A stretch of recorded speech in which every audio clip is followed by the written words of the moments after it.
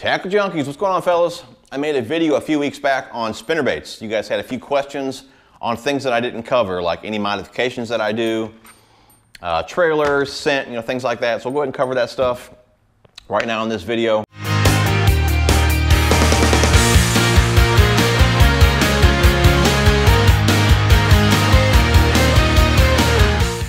Uh, keep in mind, what I do to my baits fits my style of fishing. It fits the lakes that I fish. You know, the lakes that I fish, to be honest, are not that great. I'm sure you guys can see that in my videos. You know, they're not that great. Not a bunch of huge fish in them. And I got me a big old bass. I'm just at a park lake here. I believe this is my PB. I do not have a scale. I just came uh, to play around with the new reel. And man, this is a beast. I'm gonna hold her up here. She got to be seven pounds easy. There we go. Look at this freaking beast. Man, it don't even show give it justice in this in this video. This fish is freaking huge. you know, I'm more looking for bites when I fish. So if, if I modify a bait, whether it be a spinner bait, spinnerbait, chatterbait, jig, something like that, I'm looking for a smaller profile. I don't really tend to lean towards the bigger baits and target those bigger fish just because I don't feel there's enough in the lakes that I fish to where I'm gonna be catching a lot of fish all day long. I don't have the patience to put on a big bait and target those big fish and maybe get one or two big bites a day. You know, I'm, I'm looking for more bites, so I like a smaller profile bait. It fits the lakes that I fish, it fits my style. I get more bites. It's, that's what works for me. So keep that in mind. But now I'm fishing these Picasso spinner baits, okay? Out of the package, these are good to go. I trim up the skirt, tie one on. Like I said, I'm ready to roll. Years ago, a few things that I used to do is I would trim up the frame itself, okay? Now, depending how far I trim it up, just depends really how far that blade would hang past that hook. Now, you can add a trailer hook I don't like adding trailer hooks. I feel like it snagged more up with them. Um, you know, I like to throw spinner baits around brush and rock and uh, laydowns, grass, things like that. I just feel I get more snagged with a trailer hook. So I don't add one. If you guys would like to, I got a video on that. I'll link that down below as well. But I would just shorten up that frame. It would make the bait itself a little bit smaller and it would raise that blade up to where if they were to um, swipe at that blade, it'd still be somewhat in line with that hook and I felt I would hook up better by shortening up that frame. And all I would do is just cut the bait there, or cut the frame there at that loop, make a new loop, put the swivel on. Like I said, it would raise up that blade a little bit, and I'd be good to go. So you could do something like that. Uh, I would also, like if you had a bait like this, they had a lot of those beads on there. You could cut a few beads off, which would bring the blades closer together. You get some more noise out of that as the blades would clank together. You can do something like that. Uh, if the frame itself is stiffer, you can actually compress that frame down. Okay, you just compress that down like that. You got to think if you have a really stiff frame, the bass goes to grab the bait, he's got to compress the frame down to get to the hook. Okay, if you have a really stiff frame, you can compress that down the way the bass does not have to do it as far. Okay, and when you do that as well, you can actually reel the bait a little bit faster. You can open up the frame. Okay, they'll catch a little more water, give you a little more thump. You can do that as well. Now, if you compress the frame, if you open it up, just make sure that the arm is still in line with the hook. You know, keep it in line, keep it straight. But that's one reason I really like these Picassos. They have this, um, it's called InvisWire. It's, it's a type of super wire and it's, you know, it's, it's a light wire, but it's really strong. It compresses super, super easy. And I just don't miss any fish with them. You know, if they, they grab the bait, the wire compresses super easy, there's the hook. You know, awesome bait here, guys. Definitely check them out.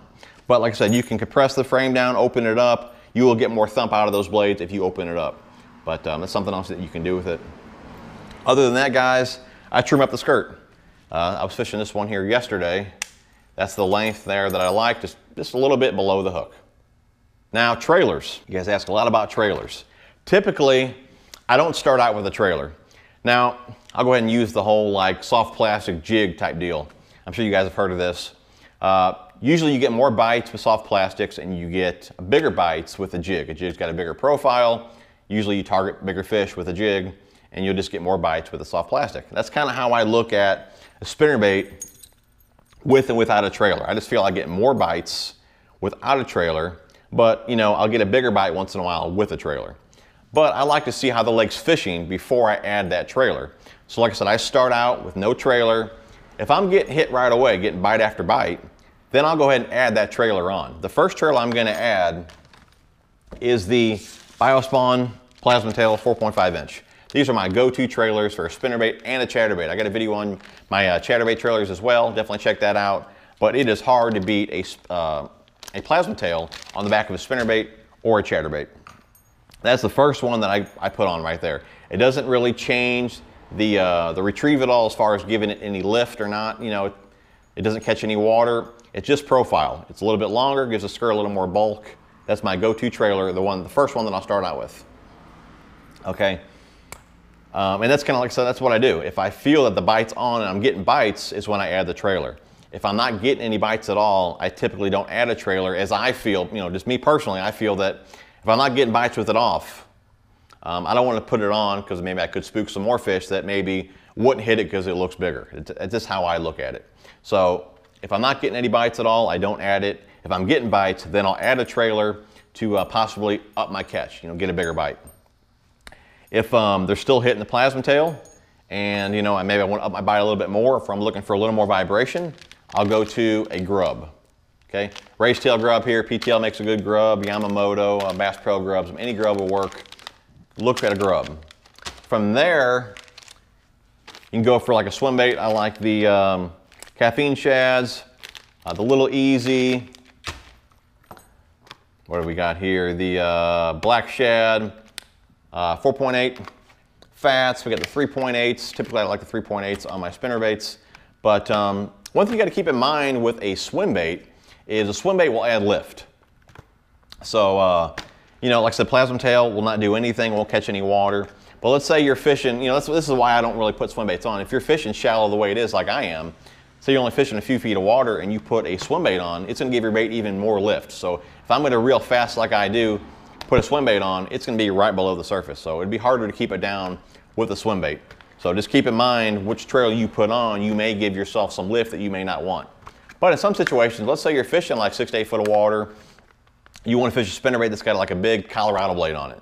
Well, the bigger the blade, uh, you're gonna need a bigger frame. Bigger frame is typically a bigger weight or heavier weight. So if you're gonna fish typically maybe a three to a half, but you want a bigger blade on there, you may have to go to like a three quarter or one ounce. If you're still in that shallow water, okay, and you want to slow roll that spinnerbait, you may have to put on a swim bait trailer to give yourself some more lift so you're not dredging the bottom. So just keep in mind what your trailer can do for you. If you want some lift on your bait, go with the swim bait. If you're not really looking for any lift, go for um, a grub or just a little um, straight tail worm.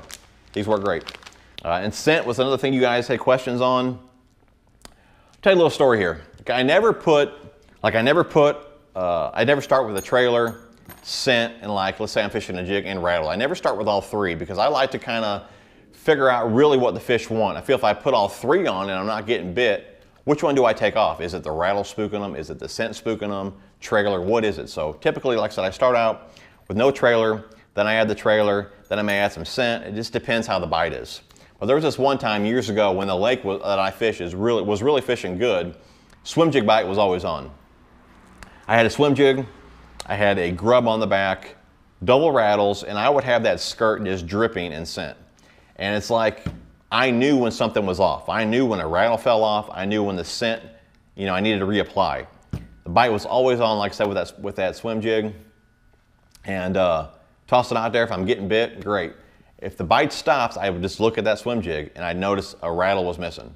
Put the rattle on, throw it out there, I'd start catching fish again.